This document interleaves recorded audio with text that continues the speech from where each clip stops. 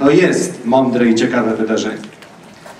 A właściwie dwa wydarzenia w jednym, dlatego że mamy podsumowanie dwóch projektów Centrum Edukacji Obywatelskiej, mianowicie Szkoła z klasą 2.0 oraz Młody Obywatel.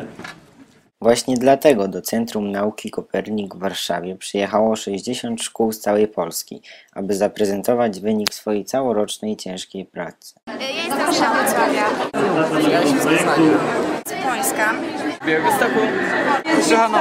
Jesteśmy z Chorzowa. Uczniowie pokazywali swoje projekty na specjalnie przygotowanych stanowiskach. Sposobów prezentacji było nieskończenie wiele, zaczynając od plakatów i ulotek, przez prezentacje, a kończąc na słodkościach i własnych wyrobach mięsnych. Wszystkie projekty zaskakiwały, co najważniejsze, każdy pod innym aspektem. My prezentujemy tutaj trzy projekty. Wszystkie mają ogólną nazwę. E, Jeden dotyczy blogu szkolnego, na którym mogą się opowiadać uczniowie. Drugi natomiast jest to blog o szybkim, efektywnym uczeniu się. A trzeci to jest nasz fotokast, który obiecujemy szkole z klasą i właśnie dzisiaj go możemy pokazać. Stanowiliśmy się pod względem naukowym, jak to jest, że odczuwamy smak i czujemy zapach z potraw, co powoduje, że one mają ten smak. W naszym projekcie chcieliśmy pokazać naszą szkołę, jaka była kiedyś i jaka jest teraz. dotyczy rozrywek młodzieży w 20-leciu międzywojennym.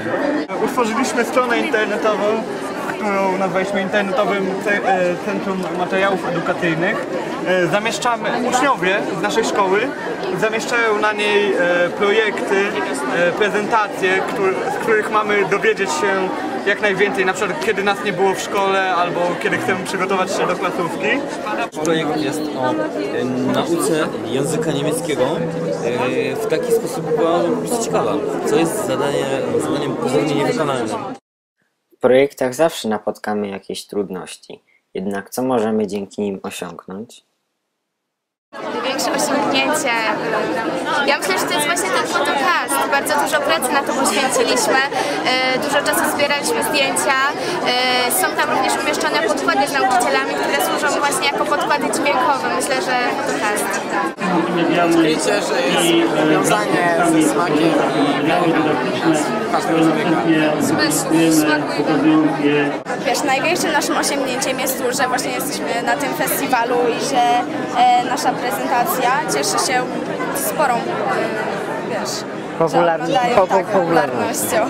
Naszym sukcesem było, yy, było odwiedzenie w ogóle dyrektora Podlaskiego Muzeum, tak? Więc dowiedzieliśmy się wielu yy, ciekawych rzeczy o Białymstoku i mm, potwierdziło się to, że, wszystko, że niektóre rzeczy, które yy, są zamieszczone w internecie, nie pokrywają się z historią. To jest nasz największy sukces, a chyba naj, tak naprawdę to ponad to wszystko wystaje to, ten, ten sukcesem może nie jest aż tak ta platforma, jak to, ile uczniów się zaangażowało w tworzenie tego. To jest największy sukces. Dużo zaangażowanych osób to podstawa do sukcesu. Jednak jak uczniowie przeżywali festiwal? Jesteśmy bardzo zadowoleni pomimo tak długiej podróży, ponieważ jest tu bardzo fajnie i bardzo dużo projektów. E, Gimnazjalści wykonują wspaniałe projekty, które możemy podziwiać. Naprawdę jest fajnie. Tak, jesteśmy bardzo zadowoleni z tego, że. Bardzo cieszę się, że tutaj przyjechałem, że możemy zaprezentować naszą ciężką pracę, nasz wkład i pokazać, e, czym jest Białystok, prawda?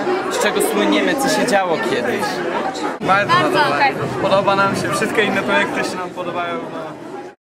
A jak z punktu widzenia organizatorów wyglądał festiwal i prezentowane na nim projekty? Ja, mnie się strasznie podobało. Ja nawet nie pamiętam jaki był e, plan dokładnie, minuta po minucie. Na pewno jesteśmy trochę spóźnieni, bo już Agata Łuczyńska e, krzyczała na mnie, że, że już mam szybko te dyplomy wręczać, ale uważam, że samo, sam przebieg, taka, to co się działo, to ile było e, energii, ile było fajnych relacji, szkół, między szkołami, między uczniami, ile było ciekawych rozmów. to, to przerosło moje oczekiwania. To była jedna z najfajniejszych prezentacji uczniowskich projektów, na jakiej byłam, a byłam na wielu. To jest niesamowite, że po prostu, bo tutaj byli przecież uczniowie w bardzo różnym wieku, prawda? Maluszki, różne e, takie podstawówki, ale też już ludzie, którzy no, mają 18 lat albo więcej. E, I właściwie każdy w inny sposób. No to widać było, że to jest człowiek z pasją, że jemu się e, zapalają ogni- og- ogniki w oczach, jak mówi o tym, co robił.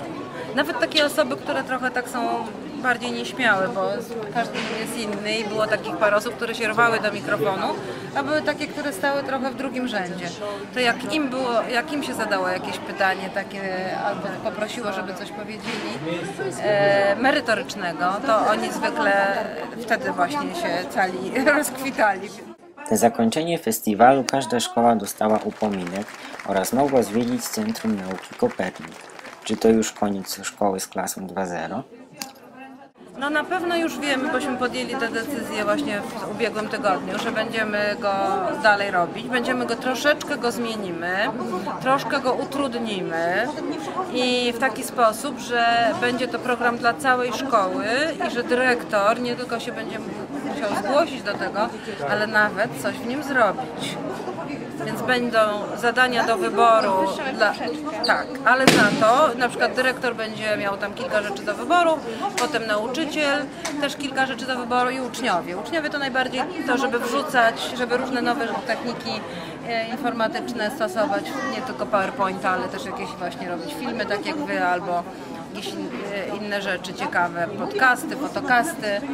E, Myślę, że najtrudniejsze to będzie dla dyrektora, bo tam wymaganie wobec niego jest takie, żeby w tej szkole było Wi-Fi, prawda? E, Albo żeby otworzyć pracownię, e, żeby ona była cały czas otwarta.